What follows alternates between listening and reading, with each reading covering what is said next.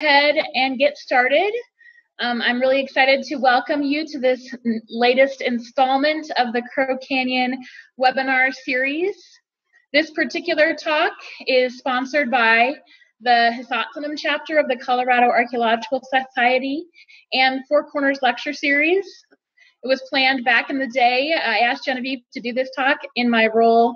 Um, oh, I'm Carrie Schler. Sorry, didn't add that. I'm Carrie Schler, and I'm here in my role as Vice President of the Hisatsinom chapter of the Colorado Archaeological Society. And Genevieve was kind enough to agree to do this talk for us when, when it was going to be in person. Um, and then she was willing to change it, and we're so thrilled that Crow Canyon could host this online webinar, and hopefully we'll even get even more folks being able to, to see this talk than we would have if she was doing it in person in Cortez. So today we're going to talk about what we can learn from coiling and corrugation in southwestern ceramics with Genevieve Woodhead. Before we get started, I'd like to take a minute to thank but my slide's not advancing. Let's see. Maybe it's just being slow. I'd like to take a minute to thank uh, Taylor Hasbrock and Dylan Schwint, who's done an awful lot. They do all of the behind the scenes work here at Crow Canyon. Um, and so I'd, I'd like to thank them for, for that. And I'd also like to, uh, we want to definitely make sure to acknowledge the Colorado Humanities and the National Endowment for Humanities that have provided funding for Crow Canyon to host these webinars.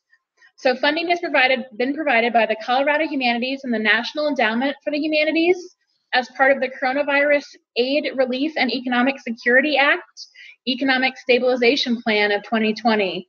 It's so wonderful that we can get this funding to allow Crow Canyon to host all of these webinars from a number of different organizations um, across the four corners.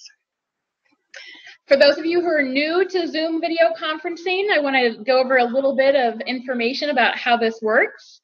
One thing that's real important is that you can move the little boxes of talking heads, like where Genevieve and I are right now. Um, if we're, especially if we're if we're covering up part of the PowerPoint that you'd like to be able to see, feel free to move those boxes around. And we're going to try to take all of your questions at the end of the presentation.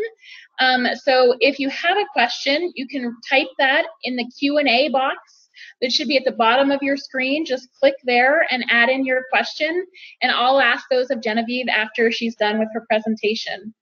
And if you're having any difficulties uh, with Zoom, you can head over and watch the presentation on Facebook Live at facebook.com backslash Crow Canyon Archaeological Center. And finally, if you want to subscribe to us on YouTube, you can watch all of these great webinars that Crow Canyon's been hosting, um, and and see see this webinar again next week once we once we get that posted. So Crow Canyon Archaeological Center's mission is to empower present and future generations by making the human past accessible and relevant through archaeological research, experiential education, and American Indian knowledge.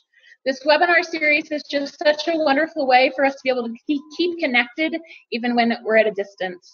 If you'd like to learn more about Crow Canyon and programs that we offer, you can go to crowcanyon.org. I'd encourage you to do that. Um, we have two upcoming webinars that you can sign up for. Uh, next Thursday's webinar is Why Do We Call Them Kivas with Steve Lekson, Susan Ryan, and Lyle Balenquah. The following week, we have a talk um, called A Landscape Perspective on Climate with Colin Strawhacker and Grant Snitker. Hopefully I said that right. Um, that's on Thursday, September 3rd. We also have gotten a number of requests through doing these webinars about folks that would like to help, um, especially Native groups within the Four Corners region during this difficult, challenging time. Um, and these are a number of those organizations that would be really great to support if you're able. The Pueblo Relief Fund, the official Navajo Nation COVID Relief Fund, the Hopi Relief Fund, the Navajo and Hopi Families COVID Relief Fund, the Bluff Area Mutual Aid Fund, any of these things, any of these organizations would be great ways to support folks um, struggling, especially with the pandemic um, in the Four Corners region. So now I'm going to go ahead and introduce Genevieve and get us started with our presentation. Although she has instructed me to put up this slide because this is going to be fun. There's going to be an interactive um, part to this presentation. She wants me to let me let you know that there's going to be a hands-on activity in her presentation. So if you'd like to participate in that, grab a piece of paper um, and also a dark marker, and you'll be able to uh, participate in this hands-on activity in over the course of her presentation. Okay. very huh? It's very brief. it'll, it'll, be fun. I'm excited. I've got my paper. I'm excited. Okay, so uh, Genevieve Woodhead is a PhD student in the Department of Anthropology at the University of New Mexico. She specializes in the archaeology of the northern U.S. Southwest. She researches ceramic manufacturing processes to better understand how learning operates and how people transmit knowledge and alter practices amidst demogra- demographic fluctuations and dynamic interactions. We are so pleased she agreed to talk to us today on some of her MA research on corrugated pottery. So now I'll go ahead and let Genevieve take it away. Hmm.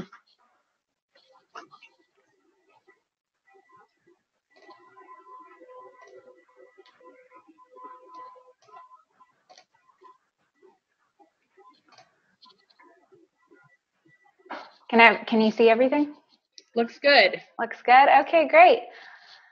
Hello. First, I'd like to say thank you to Carrie for that introduction, and thank you to Taylor for organizing, and to Dylan for the technical support. My name is Genevieve Woodhead, and I'm a graduate student at the University of New Mexico, where I study Northern U.S. Southwest archaeology I focus my research on the material practices of ancestral Puebloans prior to the arrival of the Spanish. However, the results of this project do speak to the effects of colonialism on practice and learning. I was a Crow Canyon intern in 2017, so I have benefited from those of you who donate to Crow Canyon, and I thank you. Before beginning, I want to recognize that I'm delivering this talk from the homeland of the 19 Pueblos of New Mexico and many formerly mobile Native American nations. I encourage non Indigenous viewers to educate themselves about and learn about the land we live on and study. Tonight, I'll be discussing corrugated pottery. This talk complements other webinars in this summer series. Dr. Lekson discussed clapboarding and, corrugation, and Charles King and Russell Sanchez spoke about Pueblo and potters' use, uses of historical references and long held ceramic practices. I completed my master's project a couple years ago on corrugated pottery. The main concern for that research was how did pre Hispanic Native American potters take clay paste as pictured on the left and produce a finished corrugated pot? This clay paste setup comes from a photo at Hopi Pueblo, and the pot on the right comes from the Maxwell Museum. As I began to understand the corrugated vessel manufacture process, I found myself increasingly wondering not only how do we get from a raw material to a finished product, but also how do we get from the sort of finished product pictured on the left to the sort of finished product pictured on the right. On the left, you see that same ancestral Puebloan grayware vessel. Whereas this grayware vessel dates to sometime between 8900 and 1150, the Acoma pot on the right was likely produced sometime in the 1930s. The seller likened the 1930s pot to works by Lucy Lewis of Acoma Pueblo, but the identity of the artisan is not known for certain. So, what can we learn from coiling and corrugation in Southwest ceramics? To answer that question, I've thought a lot about a slew of other questions. Corrugated vessels from the archaeological record shed light on pottery making in the pre Hispanic Southwest. But what is the relationship between archaeological examples of corrugation and comparable historic and contemporary pots? What changed? And how do we explain apparent changes in ceramic production from the pre Hispanic period to the historic period to today.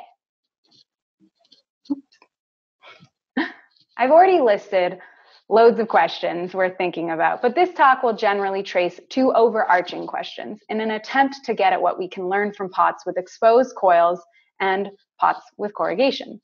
One, how did Southwest potters craft and build corrugated pots prior to the arrival of the Spanish and Anglos? And two, how have the practices responsible for pre Hispanic corrugated pottery transformed into modern takes on corrugation? That is, how do historic and contemporary examples of Pueblo pottery differ from pre Hispanic examples and why? I address the first question mostly through analysis of museum collections of coiled and corrugated ceramic whole vessels and experimental reconstruction and replication. I address the second question by referring to archival images of Native American potters, reading personal narratives and artist statements by Pueblo potters, and watching YouTube videos of Pueblo potters, including Rachel Sahmie Nampeyo of Hopi Pueblo and Marvin Martinez of San Ildefonso Pueblo. You will see that the questions inform each other. And for that reason, this talk toggles between the archaeological record and the historic period.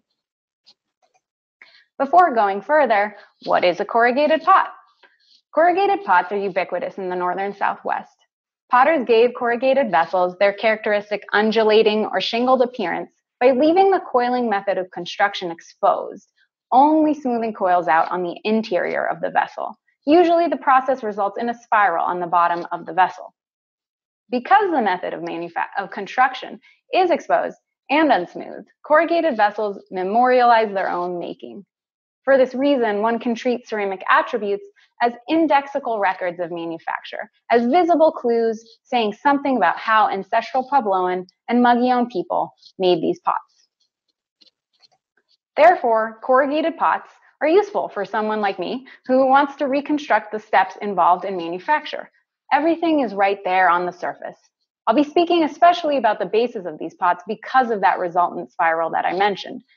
You can look at the base of a corrugated pot See that basal spot, spiral and know in which direction the potter built. Now, as we will come to see, you cannot detect which hand the potter used, but you can get an idea of the possible motions involved in building if you have the base to look at. I promise I'll talk more about hands later. Oh, here, here's the time for the activity. I want to take a moment to work through some mental gymnastics for people who don't think about spirals as much as I do. We need to differentiate between the potter's coiling direction and the direction of the coil on the exterior of a pot. The two directions have, by necessity, an inverse relationship. A quick experiment reveals this. I encourage you to try it with me. Grab a thin piece of paper and a dark or permanent marker. Oh, you need both hands for this part. Okay, and then draw a spiral.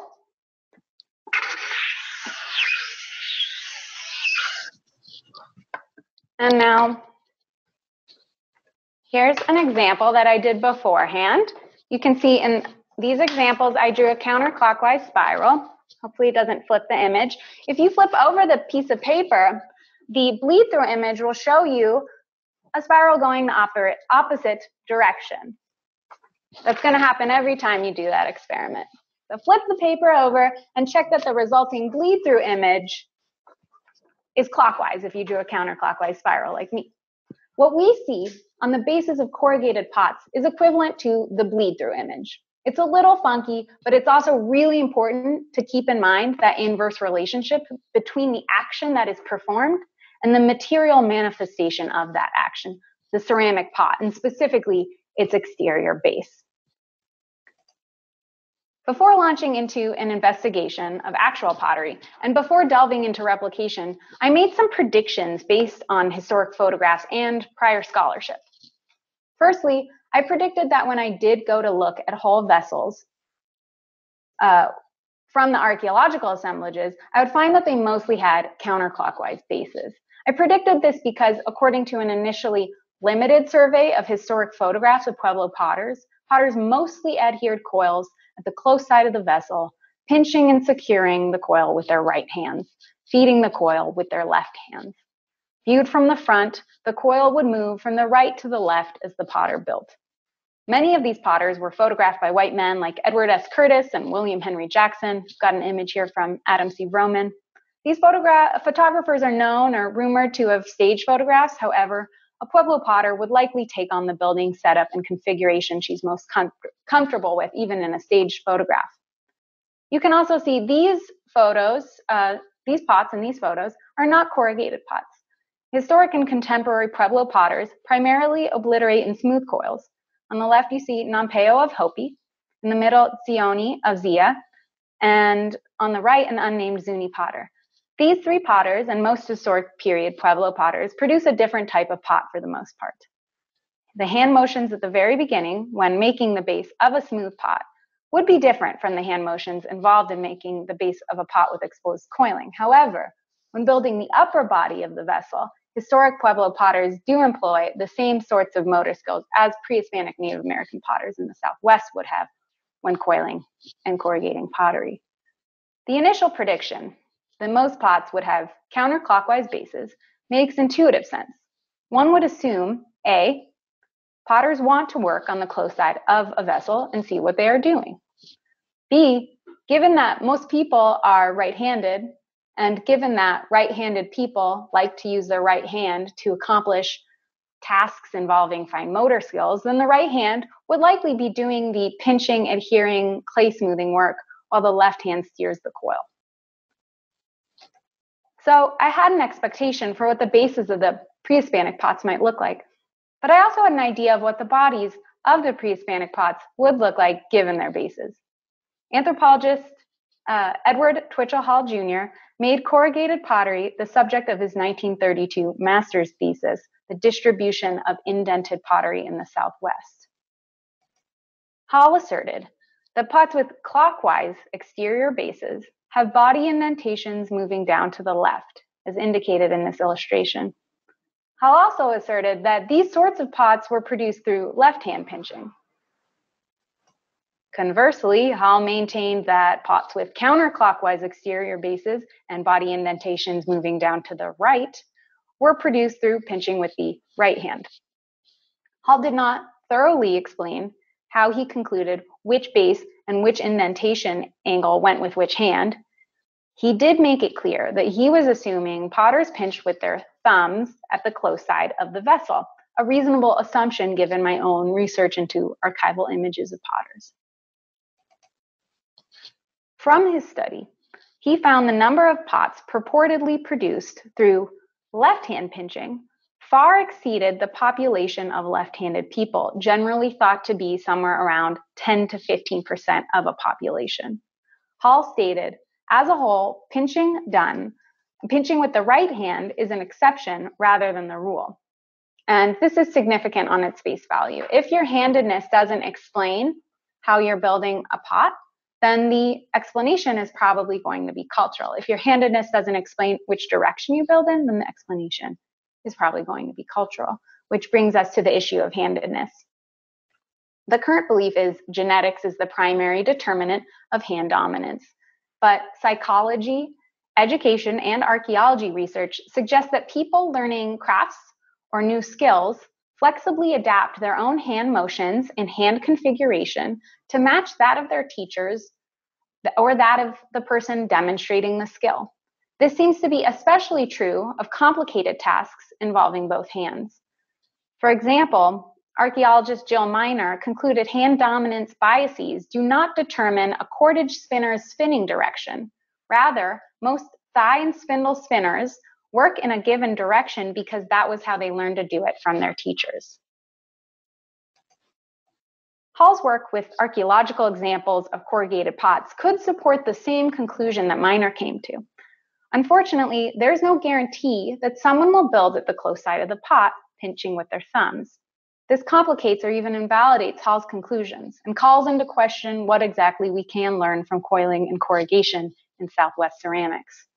In 1983, David Snow posited that there are multiple ways to coil a pot, and both hands can be responsible for either coiling direction.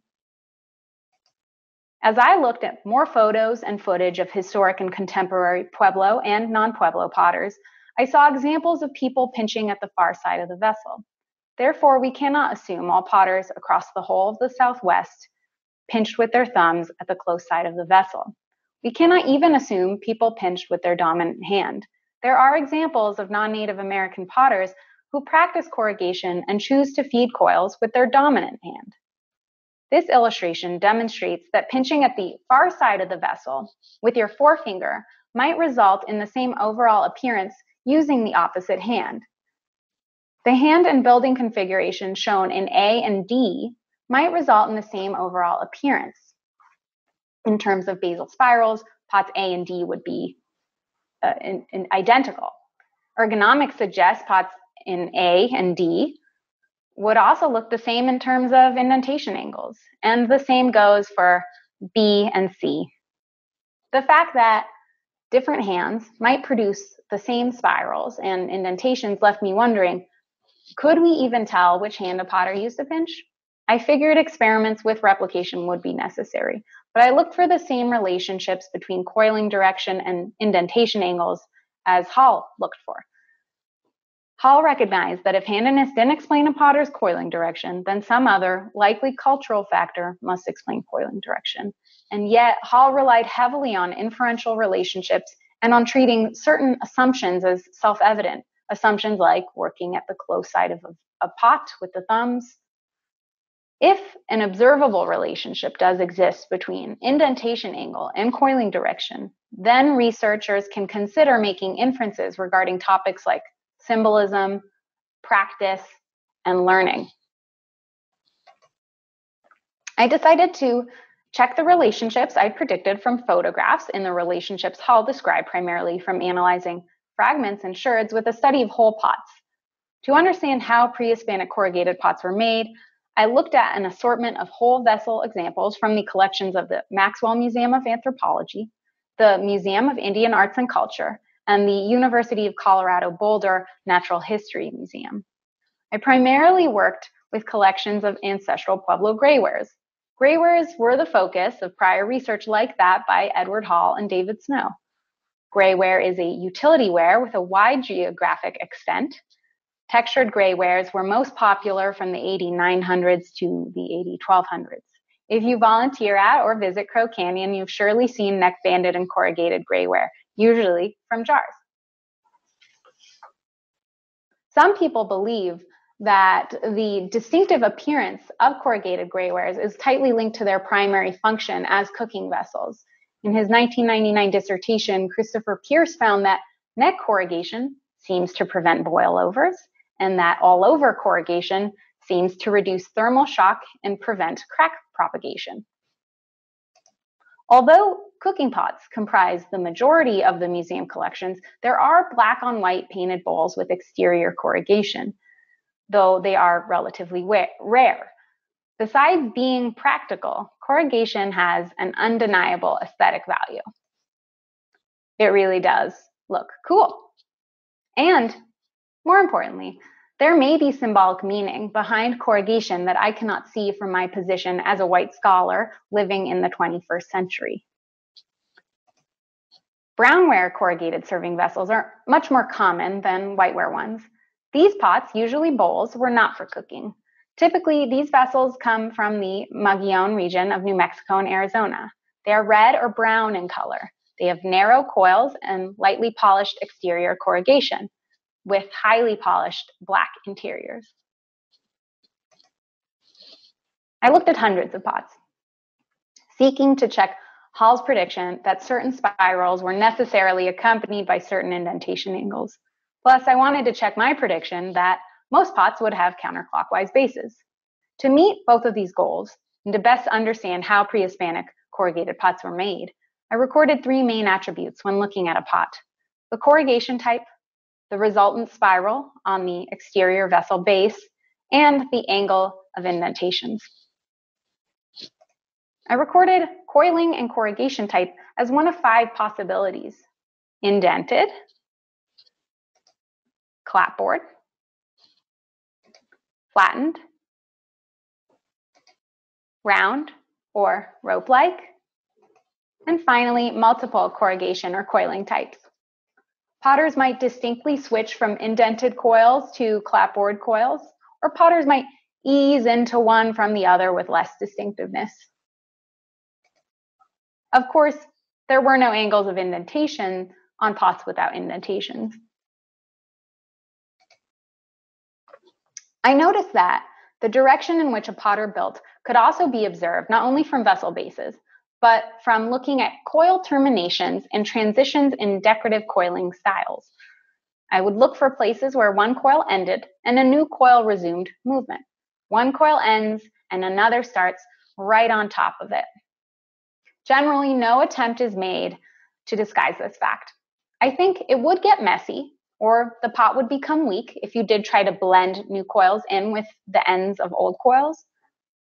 Acknowledging this fact of manufacture and not disguising it might also have some aesthetic, symbolic, or ideological meaning indiscernible to an outsider. Here's a comparative example of how our Western mindset biases what we deem aesthetically pleasing. The Japanese art of kintsugi involves repairing objects with gold lacquer or gold powder. The gold draws attention to cracks and breaks. This practice goes hand in hand with a philosophy of treating repair, even decay, as something worthy of acknowledgement. Similarly, the Japanese concept of wabi sabi embraces the handmade qualities of objects.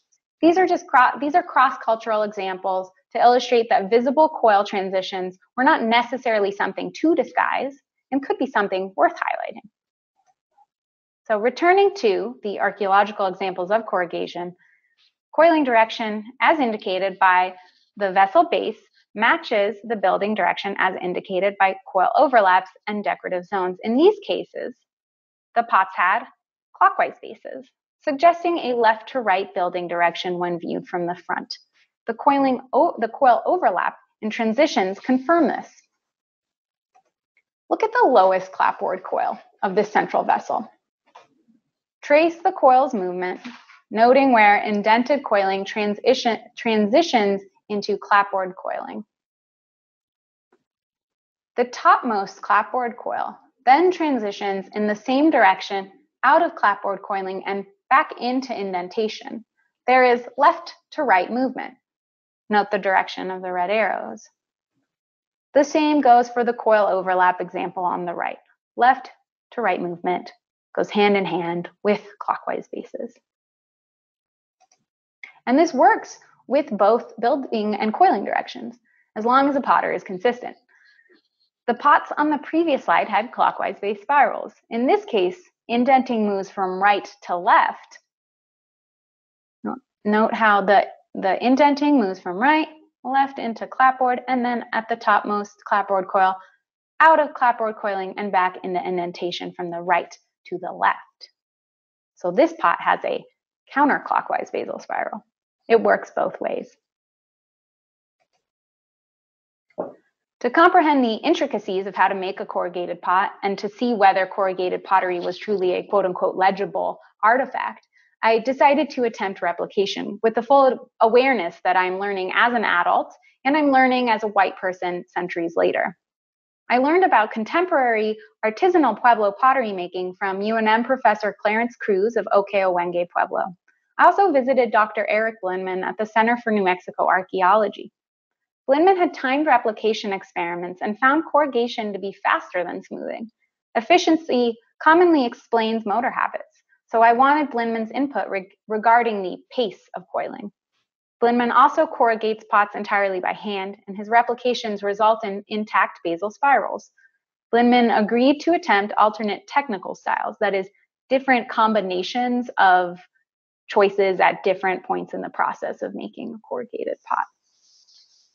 Starting a corrugated pot was the hardest part. The center base patty of clay is tough to make and easy to ruin even in this example here, I had to go back and in size where that central spiral was. You can also see the inside of the of the pot base patty is cracking along coil joints. In the beginning, the potter builds with the base patty aloft, not yet resting in a curved supportive plate known as a huditsi or puki. When the basal portion reaches a certain size, the potter moves it to a supportive plate. In some cases, traces of this transition are visible because the coiling changes in appearance or because the pot ripples and bulges from the opposing pressure of the plate and the potter's hands. In other cases, a potter may exaggerate or draw attention to differences in the appearance of the basal spiral by making the initial coil thicker or leaving it unindented. I learned from experimenting that one can easily obliterate the basal spiral while building. I had to work carefully to preserve that spiral. When I transitioned out of handheld building, I needed the aid of a Puki to build efficiently without destroying the basal spiral. Replicas generally match the relationships earlier scholars like Hall and Snow proposed for coils and indentations. 12 out of 14 combinations that I tried matched for the predicted indentation direction. Ultimately, the exercise showed corrugated pottery is not entirely legible. There is a lot of room for idiosyncratic variation. Importantly, several iterations resulted in the same overall appearance. That is, both hands could produce the same basal spirals and indentation angles, making detection of hand use impossible. Working out the potential combinations of choices a potter might make is complex. That's why I had 14 iterations, and that's still not exhaustive of all the choices a pre Hispanic potter can make. And many of these choices exist independently. That is, one choice may or may not affect other choices. So, how was a pre Hispanic corrugated pot made? Well, there are many ways a potter might make a corrugated pot. That's what replication shows. A potter can work with the inside or the outside of the starting base patty facing up. That's one choice. A potter can work along the near or far edge of the vessel using the thumb or index finger to pinch indentations. A potter can work with the left or right hand doing the pinching or the coil feeding, adding coils in a counterclockwise or clockwise motion. But here's the thing even though the possibility of idiosyncratic variation seems infinite, an expert potter would not be likely to explore variation. Blinman states hand motions in pottery making are remarkably resistant to change. As a potter, Blinman was uncomfortable exploring styles inexpertly. When adding new coils, his impulse was to revert back to the technique he had mastered. He said he had trouble achieving a rhythm. From a practical standpoint, altering how you make a pot is inefficient. With these insights from replication, it was clear that if ancestral Puebloan and Mogollon potters had particular or preferred ways of making corrugated pottery, then I'd have to statistically evaluate the archaeological examples to identify any preferences. Because different hand motions can result in the same overall appearance, archaeological examples could belie variation in hand motions, but not in building direction. My goal was to learn more about corrugated pottery and more about the ancestral Puebloan and Mogollon people who made it. Otherwise, the door is open for scholars to either largely ignore corrugated pottery or make not wholly supported inferences as to handedness, symbolism, so on.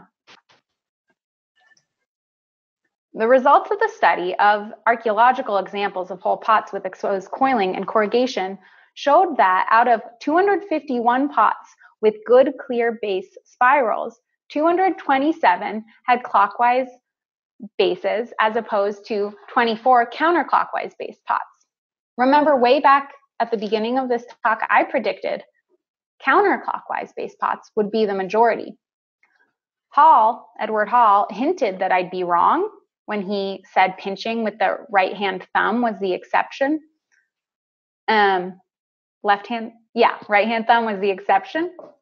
And while it is remarkable that these percentages mirror the population of lefties to righties, I don't make anything of that right now. From observation alone, I cannot know which hand a potter used to build, let alone a potter's dominant hand. Exposure to potters, exposure to research by people like Jill Minar, and my own replication experiments showed we cannot have certainty as to handedness or hand use. Of the indented corrugated pots, a total of 143 pots had down to left body indentations versus 27 with down to right body indentations. 15 pots had multiple or combined indentation angles in a way that made me think assured from one part of, a, of that of those pots would not look like assured from another. Counts show exterior base coil direction and indentation angle are associated, not independent traits. You can tell just by looking at this table, they are related. But let's go over it. 140 clockwise base pots had down to left indentations, as predicted by Hall, but 11 had down to right indentations. 16 counterclockwise base pots had down to right indentations as predicted, but three had down to left indentations. Many more clockwise base pots had down to left indentations. Some more counterclockwise base pots had down to right indentations. Edward Hall's predicted relationships between base spirals and body indentations do hold up. However, there's clearly no one to one relationship between indentation angle and coiling direction because these cells each have some pots. Plus, there were 15 pots with multiple indentation angles. Coiling direction and indentation angle are associated, just not invariably so. For that reason, indentation angles, say on sherds, if you're in the field and you want to apply this talk, they're not a perfect, maybe not even an appropriate proxy for coiling direction or manufacturing methods. So you have to take that with a grain of salt. They're not a perfect one to one match between coil- clockwise bases and down the left and counterclockwise and down the right. The archaeological sample of pottery with exposed coils and corrugation was mostly pots with clockwise spirals on their base exteriors. This means pre Hispanic Native American potters in the Southwest responsible for pots in the sample mostly adhered coils in a counterclockwise manner, working from left to right if faced frontally. This is noteworthy. Although replication showed room for idiosyncrasy, replication overwhelmingly supported the ergonomic realities of coiling. There are two ways you can efficiently get pots that look like 90% of the archaeological sample, uh, examples. And by efficiently, I mean both hands are at work, so you're working quickly, and no hand is going uh, is is repeating the job that another hand could do. You can one one you can adhere coils at the close side, indenting with your left hand's thumb. The left image of Acoma potter Jackie Shutiva shows what this configuration would look like. This image comes from a book called Earth Daughter, Alicia of Acoma. It's a really good book. The image on the right shows the other method for efficiently making a pot that looks like 90% of the archaeological sam- uh, examples. In this set- setup, you adhere coils at the far side, indenting with your right hand's index finger or maybe middle finger. Based on historic photographs of Pueblo potters, potters commonly adhered coils by pinching with the right hand at the close side of the pot feeding the coil with the left hand, and building in a clockwise manner. Note the images of unnamed potters from Zuni and San Ildefonso. If these two potters left their pots unsmoothed, they'd make pots with counterclockwise bases. If left unsmoothed, most historic pots would have counterclockwise bases. At the beginning of this talk, I used images of historic Pueblo potters to predict which base would be more common among pre Hispanic pots. I predicted clockwise bases, and I was wrong. YouTube videos by Native American potters, as well as books, exhibit catalogs, and first person narratives geared toward young readers, suggest certain commonalities among historic and contemporary Pueblo and potters' tales of how they came to learn pottery making. A skilled potter, usually a woman, allows children or youth, usually her kin, to watch her build. The novice initially learns through observation, and yet skilled adult potters encourage independent learning and autodidacticism.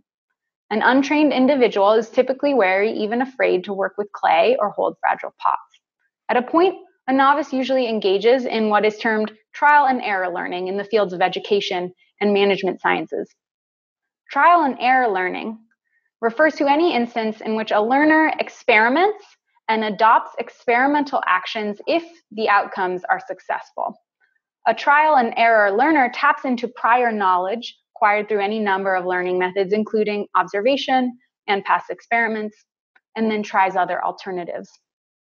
Pueblo potters like Marvin Martinez, Daisy Hooee Nampeyo, and Priscilla Namingha Nampeyo, describe receiving guidance and aid from skilled adults. But Pueblo potters also experiment with new trials. Note on the right Dolores Lewis Garcia and Mela Youngblood describing their trial and error process and how they take their time in an effort to achieve variety and high quality. Trial and error learning does not result in conservative hand movements resistant to change. I'd like now to revisit those historic photographs from the beginning of the talk, the images of Nampeyo, Sione, and the unnamed Zuni potter. I said at the outset, based on a survey of photographs, most Pueblo potters seem to work at the close side of the vessel, adhering the coil with the right hand, feeding the coil with the left hand. That was true of most Pueblo potters, but not all. Here are photographs of Maria Martinez, Lucy Lewis, Dolly Naranjo, and unnamed potters from Hopi. The potters would have made pots with clockwise bases were they to leave the coils visible on their vessel exteriors.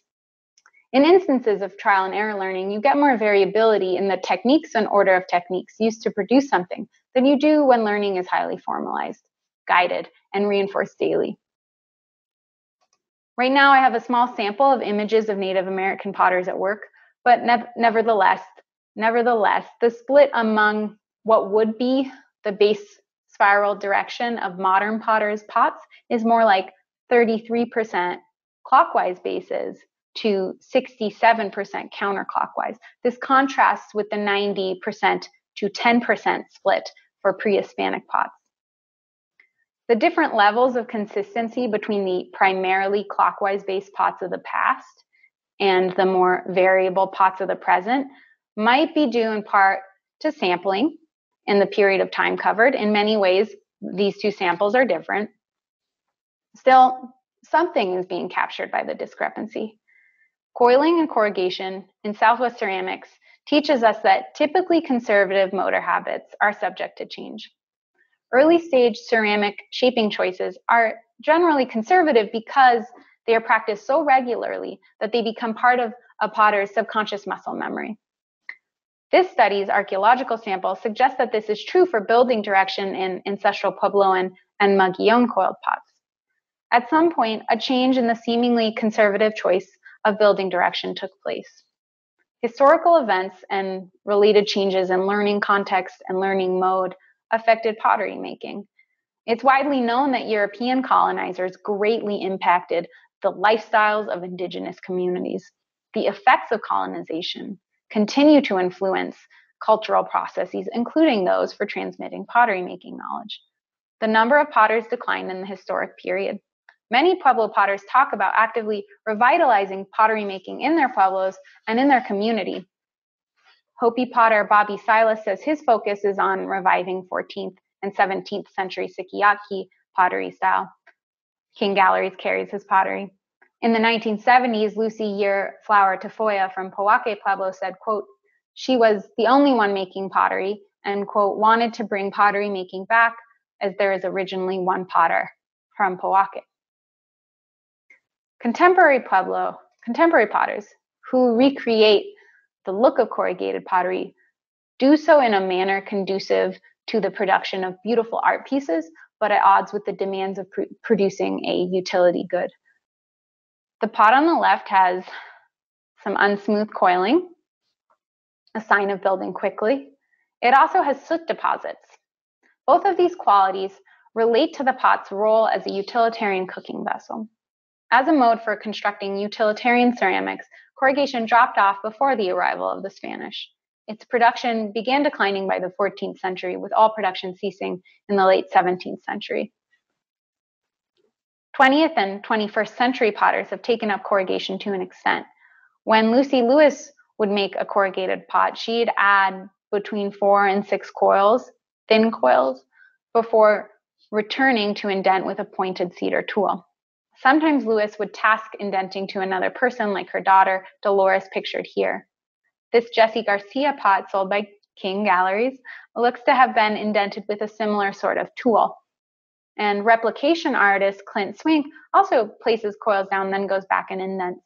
The point is, in these contemporary cases, a stop and go lay down coil then indent process is time consuming because potters go over everything at least twice. Tool use too will add extra labor and tool use changes the hand configuration and motor skills involved in producing corrugated pottery. There are differences in the manufacture of modern corrugated pots, but the connection to corrugated pottery of the past is still there. In an exhibition catalog, Dolores Lewis Garcia, Lucy Lewis's daughter, recalls her and her family researching pottery designs in books and at museums. Charles King and Russell Sanchez discuss this sort of historical connection in their webinar. Corrugation as a practice may have fallen out of use before the arrival of the Spanish. In the end, though, Puebloan potters maintain this unique ceramic craft and technique. In conclusion, by visually inspecting a large archaeological sample of coiled and corrugated whole vessels, I found that most pre Hispanic pots with exposed coils and corrugation exhibit clockwise basal spirals. Potters responsible for these vessels likely coiled either with their left hand pinching at the close side of the vessel or their right hand pinching at the far side of the vessel, working in a counterclockwise motion. Ancestral Puebloan and Mogollon potters could have employed other hand configurations. Coiling direction in and of itself does not speak to hand use or hand dominance. By and large, indentation angle is associated with coiling direction, but if future researchers want to use fragments of coiled pots to infer something about coiling direction, then they must understand that indentation angle is not a perfect proxy, perhaps not an appropriate one. According to photos and video footage, historic and contemporary Pueblo potters exhibit less consistency in coiling direction when compared to pre Hispanic Native American potters of the Southwest. Changes in learning modes might explain a shift from consistently counterclockwise pre-Hispanic coiling to more variable but generally clockwise coiling in more recent times. We can learn a great deal from pottery with exposed coils and corrugation. However, there exists tension between what is legible and what is elusive about these vessels and their traces of their own making.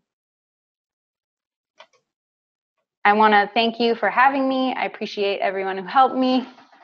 I thank the Archaeological Society of New Mexico uh, for funding a visit to Boulder. I thank all the museums who opened their doors to me as well the Maxwell Museum, the Museum of Indian Arts and Culture, and the University of Colorado Boulder Natural History Museum. And then these are some of the sources I referenced and, and used images from in this talk. Of course, I used many more as well. Thank you so much, Genevieve. This was so interesting.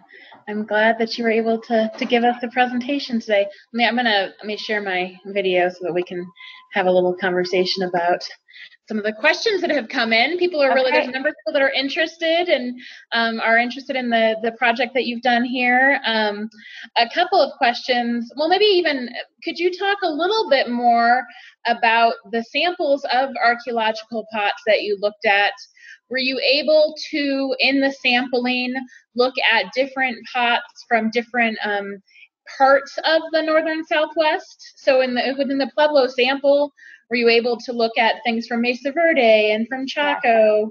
Okay, so so did you look from all like the whole wide? A number of questions came in of like, well, what percentage yeah. were um, were from different areas? So could you talk a little bit more about yeah. your samples? I'll talk more about that. Um, I so when I did the project, just some background, I was a second year graduate student, so definitely not fully capable of typing all ceramic pottery from the whole of the Southwest. So I basically went into museums and pulled all the whole pots that had coils that I could see. Um, and I and I took and I took the types that were used from the museums, but in speaking with collections managers, uh, few of them have tons of confidence in the typing that have been done by others over time. But um, and I and I'm going to make this the subject of a, a paper I have in manuscript, but um, I did look at them by general tradi- tradition, and the trend is always, always consistently clockwise bases. the only guys that stand out for being having a higher, so these are all the areas I looked at. Um, you can see the indeterminate numbers are kind of large as well. Um, the Mogollon are a lot easier to type. Um, but the northern San, San Juan, the, where oops, where Crow Canyon is, has uh, oddly more um, counterclockwise based pots than anywhere else, given the size of the sample. I mean, my Chuska sample looks wacky, but there's only five pots there. So mm-hmm. those are the two that stand out for having uh, a statistically significantly larger amount of counterclockwise based pots. And then the Mogollon stands out for being significantly uh, or especially clockwise. But by and large, oh, you can expect to find a clockwise base on a pot mm-hmm. with exposed coils. And I, I, don't know if the same goes for smooth coils. Right. Okay. Oh, that's great. Okay, what other questions do we have? Um, there were a couple of questions about the patterning in, coil, in corrugation and coiling. Mm-hmm. Do you mm-hmm. have any thoughts on why potters did that? Is the it patterning? just artistic? What, what do you, yeah. I, I guess my thought would be why don't I go to a pretty picture of one that's patterned? I did record um, the patterns when I noticed them, but I do think they are um, I think they're probably primarily aesthetic, but you know, that's just my guess. Um, they're beautiful. They do mimic basketry. So that's that's an idea is that they mimic the designs in basketry. This one's especially neat how it's got these zigzags uh-huh. that go like this. I've seen I I've seen a pot that was a whiteware bowl that had just triangles where they had not smoothed out the indentation. So that was an interesting example because it means they coiled the whole pot with indentations and smoothed at the very end. But I do think the patterns are um, primarily decorative. I, I, and and some people dispute even the function that Christopher Pierce um, identified for coiling. Um, there's one thing more I wanted to say about that. It would be in my mind, maybe challenging to do a design if you're not looking, if you're working at the far side of the pot. So the patterning might be evidence for working at the close side of the pot. True. Yeah. Oh, that's a good point. Cool. Okay. Um, uh, there's a couple of comments and about um, the composition of the clay being a, a, factor in in how thick you make the coils. Um, as well as coil length and those sorts of things. Did any of your research, uh, especially your experimental research, uh, indicate that the the type of clay and quality of the clay um, is is is it better for making corrugated pots versus non-corrugated pots? Certain well, kinds of clays. These grayware pots have very coarse uh, temper, which helps with some of those same uh, sort of cooking qualities that the indentations might help with. It helps with um, uh, resistance to thermal shock. And and so that's something you, you why that's a reason why you'd want coarse temper. I didn't take um, clay sample from all the places that i looked at pots from but i've i've found personally um, that when working with a, a clay that has a lot of temper it does become short meaning it, it, can it can crumble. So I, I would find it challenging to make some of these coils are very long. Uh, mm-hmm. So that's it's pretty impressive how long they are. Um, I don't think I don't know of any reason why it would make it easier to make a long coil. Okay. Um, Lauren Strauss wants to know is corrugation found in ceramic traditions outside of the U.S. Southwest uh-huh. that you're uh-huh. aware of? So, not in the way that I see here excuse all the flipping. um, but I and I haven't looked, I haven't seen pots from other areas, but you know, let me just close and then open again.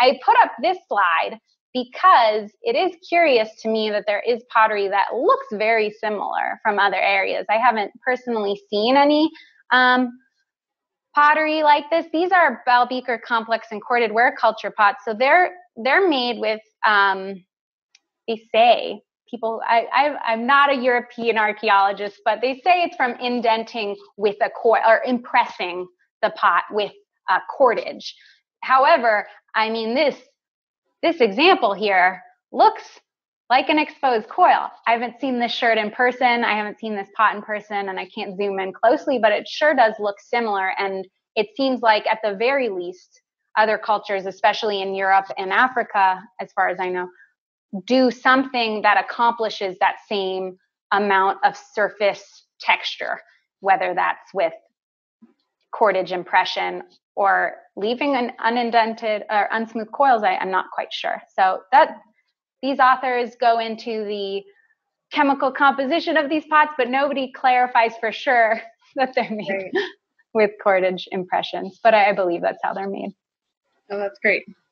Um, there's another question about the practical reasons for making corrugated pots that you sort of alluded to, but I think some people don't know the, the that um, uh, some of the studies that have been done about the practical uh, purposes of po- possible practical purposes of corrugated pots, and someone even would like uh, the Chris Pierce uh, reference.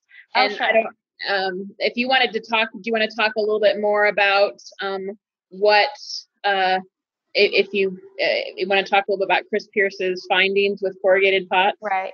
So uh, Chris Pierce hired Clint Swink, who I mentioned, or I don't know if he hired him. With Clint Swink's help, Swink's help, he made um, pots that were the same volume about and wall thickness with um, sm- smooth vessel walls pots that had neck corrugation and neck coiling, and then pots that had overall corrugation, and did different tests exposing them to um, the sort of trauma that a cooking pot would experience. And it seems that the neck corrugation, particularly, so there are some pots. Um, that have smooth bases and then neck banding. And then there are some pots that have smooth bases and neck corrugation. So those pots did well in terms of preventing boilovers.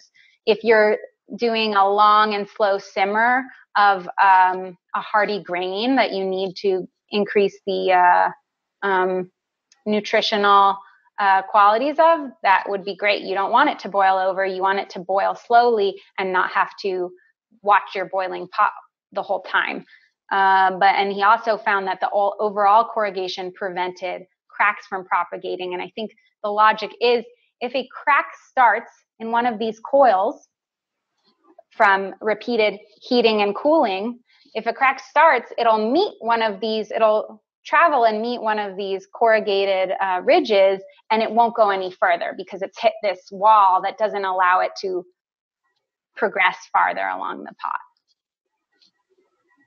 Absolutely. So, and if anybody's interested in, in getting that, you can actually Google Chris Pierce dissertation, um, and you can get a PDF of that. So it, it's called Explaining Corrugated Pottery in the American Southwest.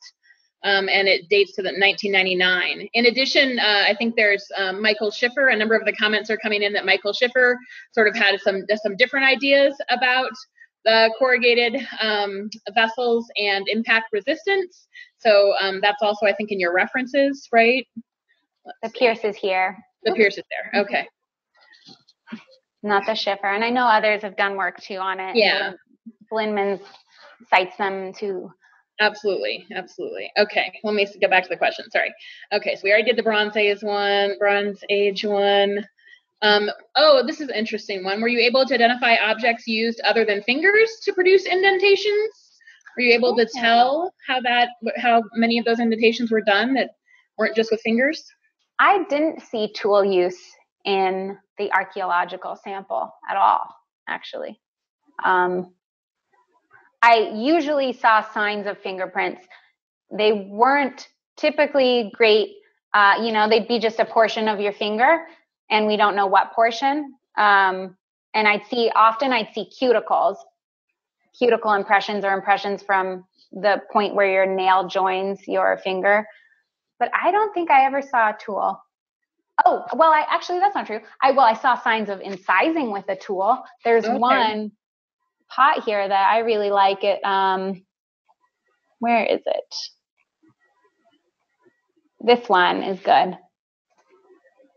This one has little these squiggles across. Oh, neat. Which is a it's a neat one. So I did see inc- incisions, and then the Mogollon pottery would be um, lightly polished with a polishing stone, probably. So I actually didn't see fingerprints in that. Great, cool. Prison. Awesome. Okay. Well, there's one. There's one last question. I guess I will ask. Well, there's two more questions. Uh, one is, can you address cord marked versus corrugation? Like, what what's the difference there? And um, did you see any cord marked pottery in your sample? In this sample, I didn't see any sides of yeah cord marked or cord impressed. So that mm-hmm. that's the kind of what the european examples are supposed are made with is is impressing cord. And there is there is cord impressed pottery in the southwest. And there's also um oh my gosh i think earl morris i think um hypothesized that um people in the Southwest figured out I'm going to fire pots because they had clay lined baskets. So that's not cordage, but it's another perishable material that got hot and uh, from their use, and that burnt the clay. And then they realized, oh, we can we can do this intentionally as well because there are archeo- archaeological examples of baskets with burnt and even fully fired again maybe not fully fired but fired clay inside of them and like impressed. Mm-hmm. Right. So you can tell in person, you'd be able to tell the difference because the the corrugated pottery indented with your finger is less regular and you do see signs of fingerprints. And then the cord impressed pottery is very regular. And what you'll see is the reverse image of the S or Z cordage twist that the whoever spun the cordage um, used and and you and it's usually a lot narrower. Okay, great. Great. Well, thank you, Genevieve. I guess there's one last question, which, you know, maybe is your mom. I don't know. It says, when is the publication coming out? oh my gosh. I know. Hopefully soon. Actually, I, I told my advisor, I'm setting aside this weekend. I'm of, it's oh yeah. I gotta get uh, my act together. It'll be soon. Coming soon. Awesome. Yeah. With well, even more you. images. thank you so much, Genevieve. Um, and uh, everybody, please turn in, tune in next week for uh, the the presentation on Kivas, and keep keep coming back. we we appreciate you uh, spending your Thursday afternoon with us. Thank you so much. Thank you.